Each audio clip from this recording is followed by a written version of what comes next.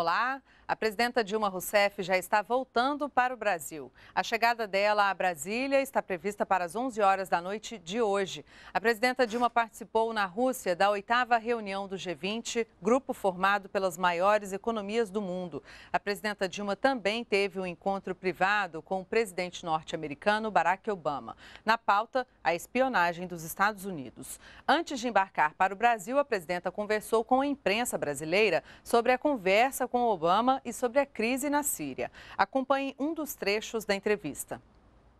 Eu comuniquei ao presidente Obama nessa oportunidade que o Brasil vai a todos os fóruns multilaterais, em especial junto à Organização das Nações Unidas, propor iniciativas para uma, uma, uma governança da internet, que defina normas e mecanismos para coibir, impedir práticas de violação de direitos ou espionagem de quaisquer países.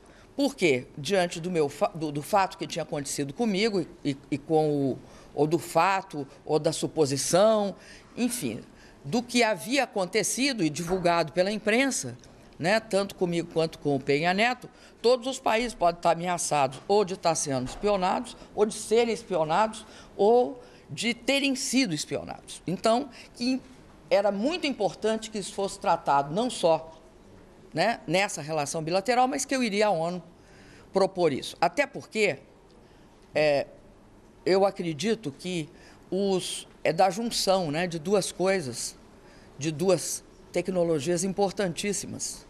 Uma é a internet e outra é a fibra ótica, que esses processos ocorrem. Até disse, olha, você pode ter é, esses processos baseados ou em cabos submarinos, como alguns dizem, ou como cabos terrestres, como outros dizem, ou em satélites, ou em tele, sistemas telefônicos, ou em backdoors de, de, de, de, aparelhos digitais, seja a forma que seja que o processo de invasão é feito, ele tem de ser coibido e tem de ser tratado no plano internacional, não só nas relações bilaterais. Ele extravasa relações bilaterais.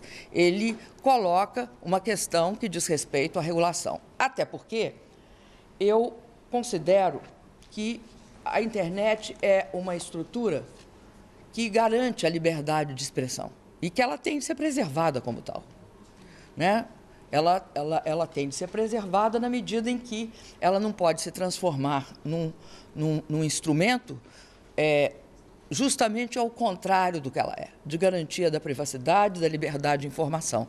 E que isso tem de ser tratado não do ponto de vista é, apenas do Brasil, mas também de todos as, os países do mundo. Em geral, foi isso. No que se refere à questão da viagem, o presidente Obama tá? declarou e reiterou que ele queria criar as condições políticas para a minha viagem aos Estados Unidos. E sabia que isso passava por adoção de medidas em consonância com aquelas requeridas pelo governo brasileiro. Claramente ele me reiterou isso. Ou seja, a minha viagem depende de condições políticas. Ele, ele procurará o Brasil para dizer que medidas vão ser tomadas. E o que eu pedi é o seguinte: eu acho muito complicado eu ficar sabendo dessas coisas por, pelo jornal.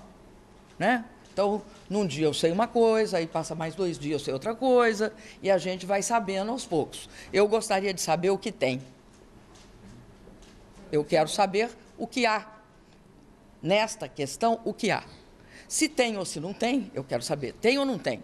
Se tem, não, o, além do, do, do, que foi publicado pela imprensa, eu quero saber tudo o que há em relação ao Brasil. Tudo o que é feito. Tudo. Em Londres, teoricamente, tomou conhecimento. E... Veja bem, Rossi, eu não sei, não sou eu que tenho de dizer o que, que é que tem, porque eu não sei, né, Rossi? Eu quero saber tudo que tem. A palavra tudo ela é muito sintética. Ela abrange tudo. Tudo. Tudinho. Em inglês, everything.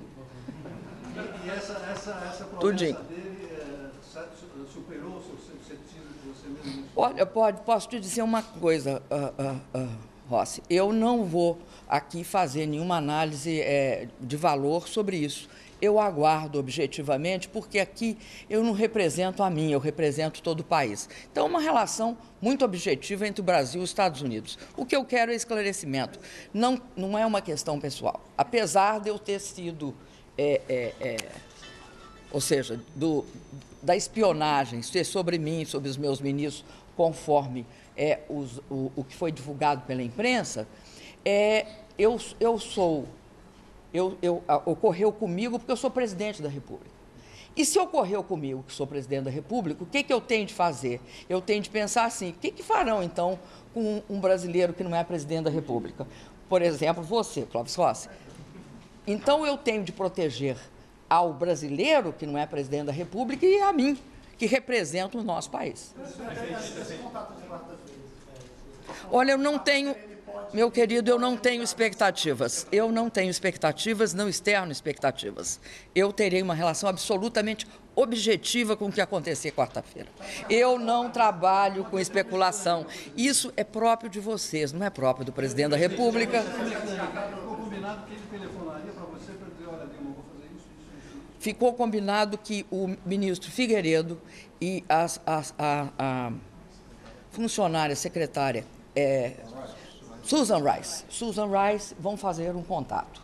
E, se for necessário, e, e nós dois faremos um contato também. Presidente, baseado no que for apresentado para a senhora, a senhora aí vai tomar a decisão se vai ou não fazer a viagem. Se não houver condições políticas, obviamente não se vai. Não se vai. Eu não sei quais são, eles vão me, me informar primeiro o tamanho do rombo.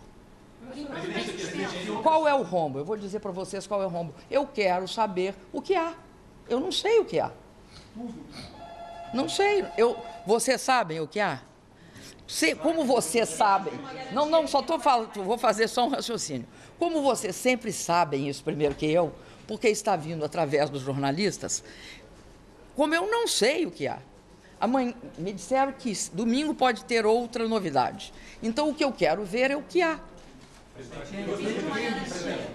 O, vocês, é, nós, chegou até nós a informação de que estão dizendo que tem novidade. Presidente, duas perguntas. Uh, bom, a, a, a, confirmação ou não da viagem já seria uma resposta do governo brasileiro a, essa, a essa, esse diálogo que vai resultar na resposta de quarta-feira.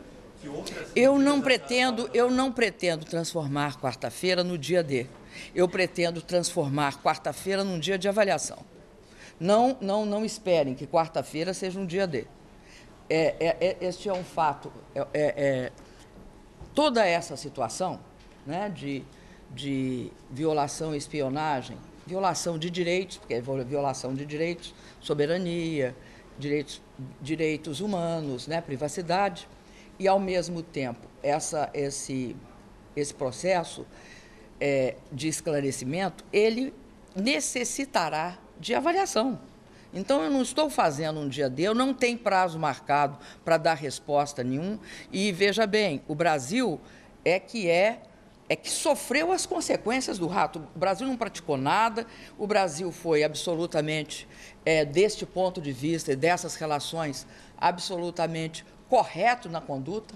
Nós temos sido sistematicamente um país cooperativo na esfera internacional. Somos aqui nesse fórum, que é um fórum importantíssimo, né, que encerra hoje, que é o G20. Temos sido também dentro dos BRICS. Então, nós teremos o tempo de avaliação e o tempo de resposta e avaliação das medidas é nosso. Ninguém vai botar tempo para o Brasil. Nós é que pedimos esclarecimentos mais rápidos possíveis. Mas a vai avaliar se é tudo que a senhora fala? Não tenho, não tenho como te antecipar isso, porque eu não sei os fatos. Seria uma. Seria um. Não sei. Não sei. Não, não. Esse, a minha ausência estava prevista pelo seguinte, porque eu tinha tido, eu tinha feito um contato anterior e ia fazer uma, uma, uma bilateral. Acabou que ela não pôde acontecer, então eu acabei não indo porque eu ia chegar na metade. Né? E aí eu ia só para foto de família e ir embora. Por quê?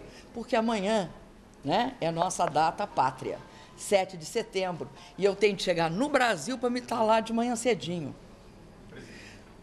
Ou seja, o quanto antes eu tenho de sair daqui, se vocês me permitirem. Presidente, a, a confirmação da viagem é a única, a única resposta que o Brasil estuda ou a senhora pode ir além? Eu não vou antecipar nenhuma medida. Senhora acha que esse gênio pode voltar para a garrafa? Não, ontem, inclusive, você veja esse gênio, você está fazendo uma imagem. Ontem eu disse para o presidente Obama que era claro que ele sabia que depois que a pasta de dente sai do dentifrício, ela dificilmente volta para dentro do dentifrício. Então, o que a gente tinha de levar isso em conta. E ele me disse, me respondeu, que ele faria todo o esforço político para que essa pasta de dente, pelo menos, não ficasse solta por aí e voltasse uma parte para dentro da- do, do, do dentifrício.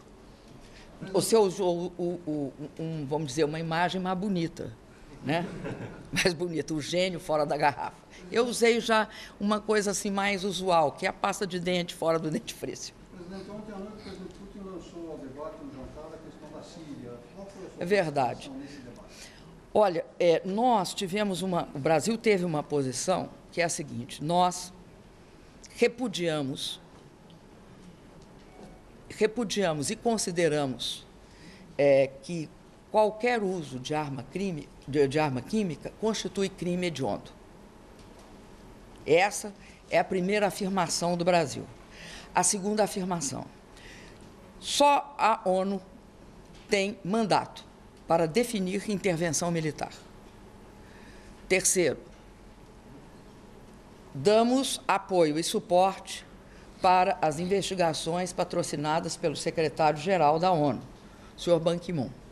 Defendemos a realização lá da reunião de Bruxelas. É de Bruxelas? Genebra, Genebra desculpa.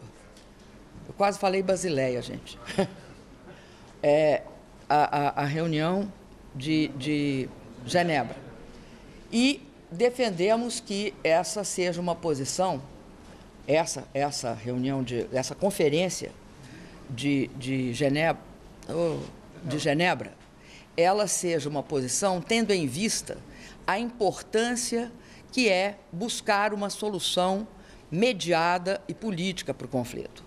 Porque a solução militar e qualquer tipo de intervenção sem mandato da ONU, ela levará só ao acirramento, à perda de vidas de mulheres, crianças e adultos na região. Então, que a gente defende o cessar-fogo, a não ingerência dos países no sentido de fornecer armas e também defendemos esse, essa forma do diálogo como um mecanismo de construção da paz na região.